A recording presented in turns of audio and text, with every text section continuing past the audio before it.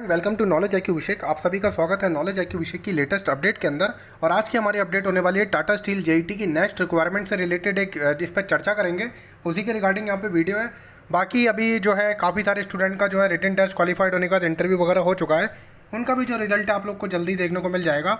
और जैसे ही उनका जो फाइनल जब उनकी ज्वाइनिंग कंप्लीट होगी तो उसके बाद जो जो उनकी प्रोसेस होगी, वो भी आपको वीडियो के माध्यम से बता दी जाएगी कि ज्वाइनिंग के समय जो स्टूडेंट का यहाँ पे सिलेक्शन हुआ है उनकी क्या क्या आगे क्या प्रोसेस रही, सब कुछ आपको बता देंगे।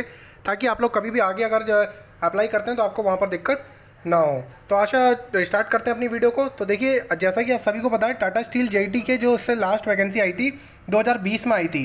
यानी अब जो नेक्स्ट वैकेंसी आई 2022 के जनवरी, फरवरी के आसपास आई तो इसका मतलब ये रहता है कि टाटा स्टील अपनी हर दो साल के अंदर रिक्वायरमेंट को ऑफिशियल साइट पर डालता है। लेकिन इससे पहले जो टाटा स्टील के अंदर वैकेंसी थी, वो पहले, आपसे 2020 से पहले जो थी वैकेंसी कुछ समय लेट आई थी, क्योंकि मे भी हो सकता है उस समय कोविड का पीरियड चल रहा था तो रिक्वायरमेंट प्रोसेस के अंदर यहाँ पर डिले हुआ था।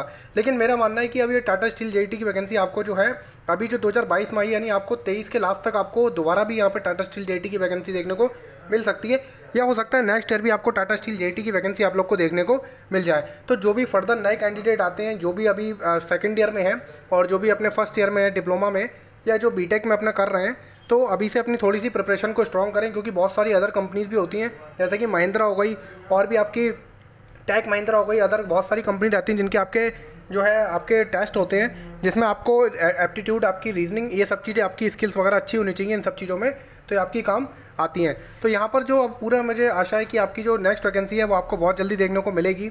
और यहाँ पर जो आपकी वैकेंसी अब आएगी, वो आपकी जो है, एक से डेढ़ साल के अंदर आप लोग को साइटें मिल जाएगी।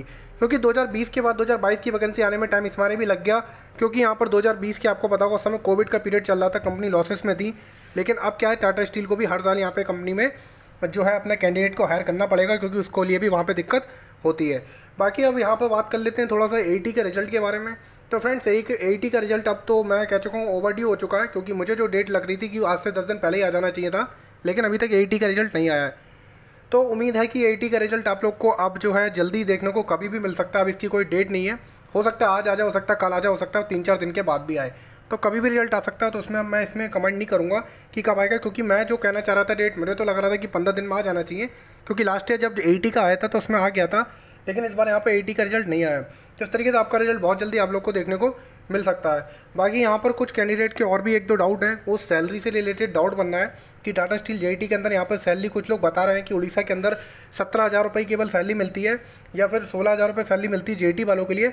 इसके बारे में भी मैं अभी थोड़ा सा जानकारी ले रहा हूँ और इसके बारे में थोड़ा डिटेल में मैं थोड़ा बात करने की कोशिश कर रहा हूँ कुछ लोगों से, जिससे मुझे इसके बारे में जानकारी मिले। जैसी मुझे जानकारी मिलेगी सैलरी से रिलेटेड मैं आपको ज़रूर बताऊँगा। आप लोग को कोई आपकी डाउट वाली बात नहीं है। बाकी बहुत सारे रिक्वायरमेंट आपके आए हुए हैं, जैसे एच पी सी एल का उसकी आप तैयारी करिए एस एस सी का रिक्वायरमेंट आ रहा है, उसकी करिए B S F water wing के अंदर भी आपका मैकेनिक की वैकेंसी आप उसकी तैयारी कर सकते हैं। और भी बहुत सारी जगह हैं जहाँ पर आप लोग तैयारी कर सकते हैं। और माइनिंग के लिए भी यहाँ पर एक वैकेंसी है, उसका भी मैंने नोटिफिकेशन टेलीग्राम में डाल दिया है। और भी बहुत सारी अप्लाई हैं, अभी S S C phase ten का आया जिसके अंदर आपका डिप्लोमा टेंथ और इन सब लेवल पे भी आप लोग काफ़ी सारी वैकेंसीज को अप्लाई कर सकते हो, उनको भी आप अप्लाई कर दीजिए। और भी मतलब बहुत सारे डिपार्टमेंट हैं जिसके अंदर गवर्नमेंट जॉब्स आई हुई हैं। आप उनके लिए अप्लाई करिए और अपनी तैयारी को लगातार कंटिन्यू चालू रखिए। देखिए, बहुत से कैंडिडेट के दिमाग में मित्र रहता है कि मेरी आज वैकेंसी आई, मैं आज से तैयारी करूँगा तो मेरा अगले एक दो महीने में तैयारी हो जाएगी और मैं एग्ज़ाम क्रॉस कर दूँगा। ऐसा नहीं है। अगर आपकी, मान लीजिए आप आज से तैयारी करना चालू करते हैं तो आप मान के चलिए कम से कम एक डेढ़ साल, दो साल के बाद जो आप फॉर्म भरेंगे, वहाँ पर आपका जो है कंपटीशन आप लोग समझिए उस लेवल तक पहुँच पाएँगे कि आप वहाँ पर उस कंपटीशन को क्रैक कर पाएँ। क्योंकि आजकल जो कैंडिडेट दो दो तीन तीन साल से तैयारी करा हुआ है तो वो आपसे बहुत ज़्यादा ऊपर है। ये आप मान के चलिए, क्योंकि वो बहुत सारी चीज़ें ऐसी फेस देख चुका है जो आप लोग ने अभी तक नहीं देखे हैं।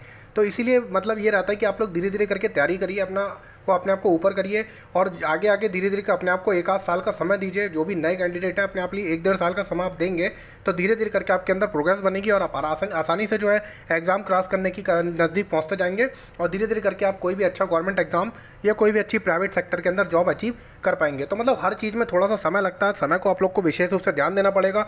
जैसे जैसे आप लोग अपने समय लगाएँगे तो आपका हो जाएगा।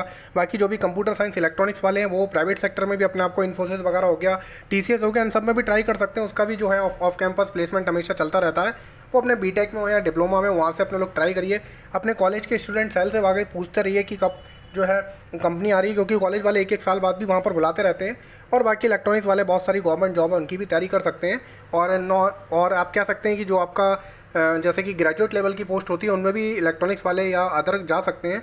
इस समय H C H S L का भी आप लोग को पता होगा पेपर हुआ अभी दो तीन दिन पहले एन टी पी सी का ही पेपर होने वाला है।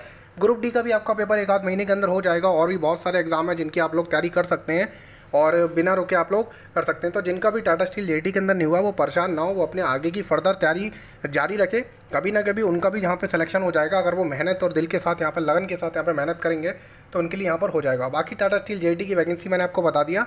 जो भी इसका वेट कर रहे हैं, वो अब थोड़ा सा उन्हें रुकना पड़ेगा। लेकिन ये है कि एक डेढ़ साल के अंदर यहाँ पर वैकेंसी आपको टाटा स्टील जे की ज़रूर देखने को मिलेगी। इस बार थोड़ा जल्दी मिलेगी, जो मुझे लगता है, क्योंकि इस बार कंपनी ने आपने देखा होगा कि दो तीन जगह से रिक्वायरमेंट को निकाला। इसका मतलब कंपनी को अब मैन पावर की ज़्यादा रिक्वायरमेंट है तो आगे भी मैन पावर की यहाँ पर रिक्वायरमेंट बढ़ती जाएगी और जो है यहाँ पे कैंडिडेट यहाँ पर बुलाए जाएँगे। बाकी ए का रिज़ल्ट मैंने आपको बता दिया जो मतलब वीडियो थी कि आपको जल्दी ए का रिज़ल्ट देखने को मिल जाएगा। और बाकी बहुत सारी जो है वैकेंसीज़ हैं एन का रिज़ल्ट के रिलेटेड मैंने वीडियो बना दी। और आगे फर्दर जो भी आपकी बी एस जेई का भी आपका पेपर जो है जल्दी आप लोग को देने को, देखने को मिलेगा।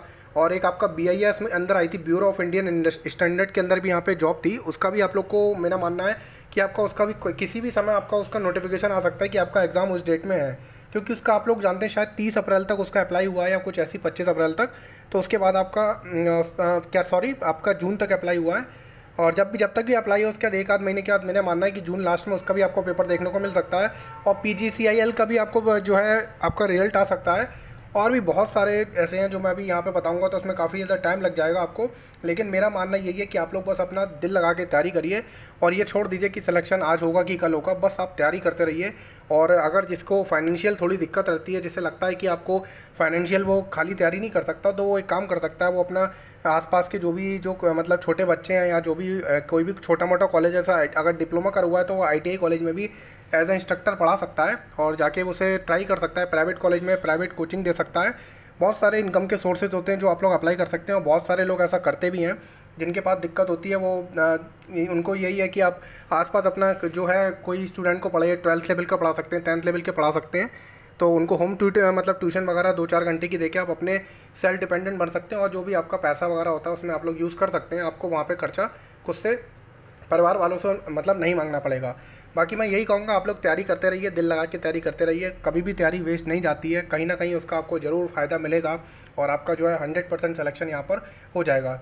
आज किसी गवर्नमेंट में नहीं तो किसी प्राइवेट सेक्टर में हो जाएगा। प्राइवेट सेक्टर में भी अगर होगा तो आप जो अच्छा निकलने वाला होगा, वो गवर्नमेंट सेक्टर से भी अच्छा प्राइवेट सेक्टर के अंदर भी अचीवमेंट कर सकता है। ऐसा कुछ नहीं कि जो गवर्नमेंट जॉब में ही होता है, वही एक अच्छा अचीवमेंट करता है।